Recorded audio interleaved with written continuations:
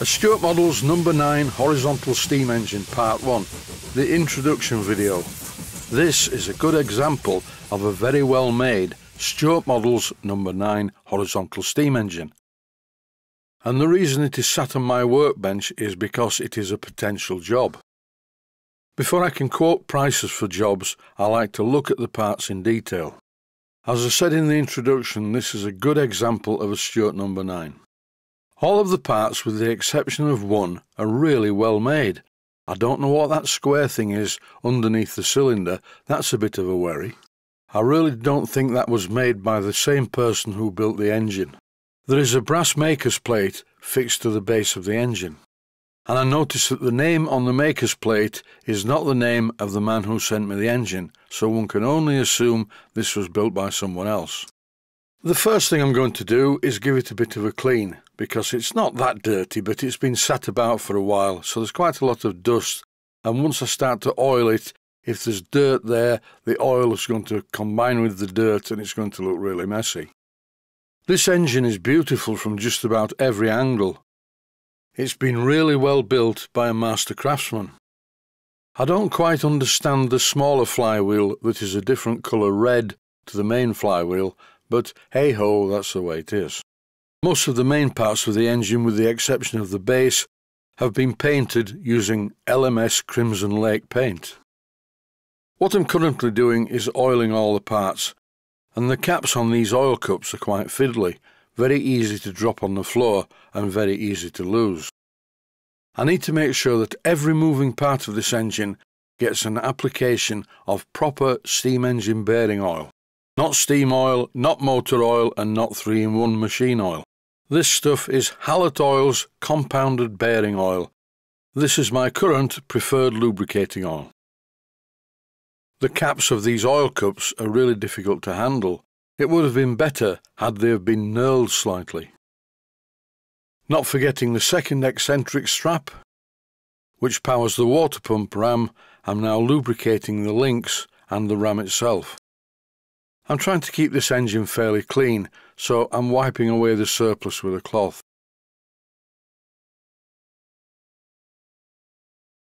There's another oil cup on the crosshead, and I'm removing the cap from this to pump some oil in here. And after lubricating the crosshead slipper, I'm moving my attention to all the moving parts of the governor. These are very finely made.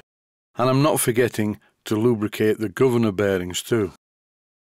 I cannot stress how important it is to lubricate model engines before you run them. Never assume that they've been oiled. Time now for a bit of oil on the valve fork linkage and on the valve guide itself. I hate to repeat myself, but before running a miniature steam engine, you must always lubricate every moving part. And the most important moving part, apart from the crankshaft, is the piston in the cylinder. The top cap of the inlet valve is currently missing. It's a very convenient way to oil the cylinder, but when I'm running the engine I have to keep my finger over the end of it. I'm about to run the engine, so I'm going to stop speaking.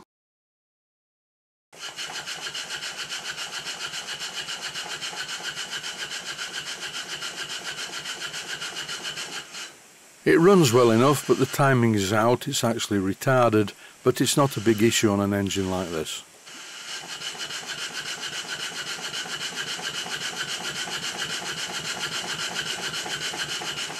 Late admission means there is nothing to cushion the parts at the end of each stroke.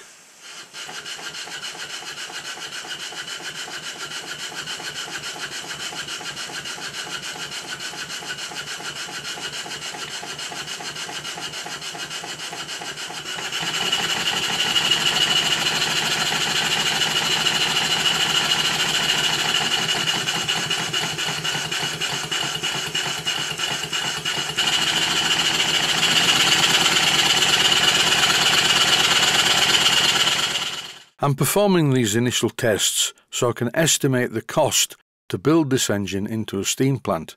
First of all, though, I'm concerned about things on the engine. Nothing really serious, but the steam tap leaks on every junction, including the flange where it's bolted to the engine itself. This is a very simple fault and it wouldn't take long to rectify it. But all these little jobs add up to a big job, and that's assuming that everything comes apart okay. I really hate it when I work on an engine and find things like sheared off bolts, but I don't think I would have that problem with this engine. When I turn up the air pressure, you can see just how much this valve is leaking. And then there's a very strange square thing underneath the cylinder. That is the exhaust. That needs fully remanufacturing because it doesn't look right. My hand is still in the shot because I'm holding my finger over the hole in the top of the valve. From here I'm afraid it goes a bit downhill. These are the other parts that have been supplied to build into the steam plant. A very large, quite ugly boiler and an exhaust condenser with a water preheater coil fitted.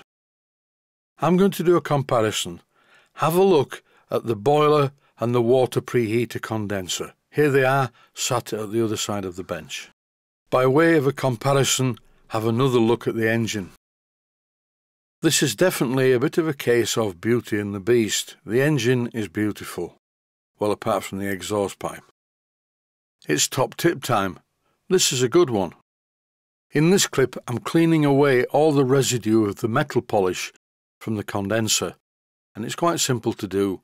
You need a paintbrush and some WD-40 and a cloth. A better idea is to avoid the residue by using masking tape when you clean the boiler bands. The boiler is ugly and the condenser is ugly, and neither of these items match the engine in any way. I sat and thought about it for a while. This boiler and condenser unit are quite heavy, and so is the engine. Oh yes, and I also forgot to mention, I do not like these twin burners. I once had a max steam version of this boiler and often when I would light the boiler, only one burner would ignite, followed by a big bang as the second one lit. Once one of these explosions was so great that it blew the ceramic burner out of the flue. It sheared the bolt holding it in place. I've been asked to build these three items into a steam plant, but I've found three major issues, only possibly major issues to me, one of them is the steam plant would be extremely heavy, and the customer is not a young man. The visual quality and physical size of the boiler and condenser do not match the engine in any way. And the third issue, building the steam plant in two halves, a boiler plant and a steam engine plant, would take considerable time. And then, of course, there's this thing underneath the cylinder. This has to go. I phoned the customer and explained what my thoughts were on the subject regarding the physical size and weight of the plant, and we both agreed that it would be much better to make the plant in two parts. All I'm doing in this first episode is cleaning up the engine. I'm using WD-40, which is really good stuff, and a soft paintbrush to remove the dirt. WD-40 is essential in any workshop in my opinion. I always have a can of it laid about somewhere and sometimes I also use WD-40 as a cutting lubricant in the lathe for certain metals. Time for another run.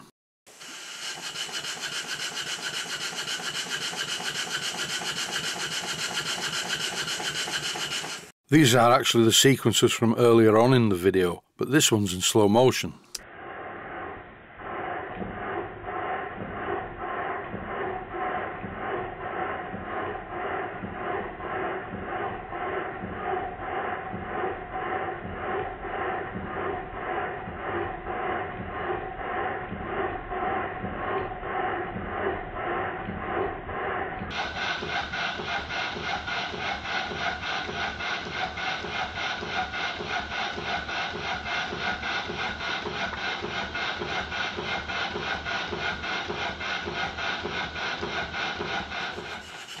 And that concludes the introduction. I will give this job some serious thought. Stay safe, stay healthy, thanks for watching and I hope you found it useful.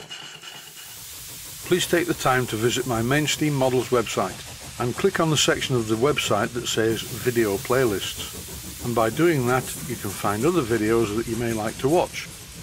And by using the playlists you can actually watch the videos back to back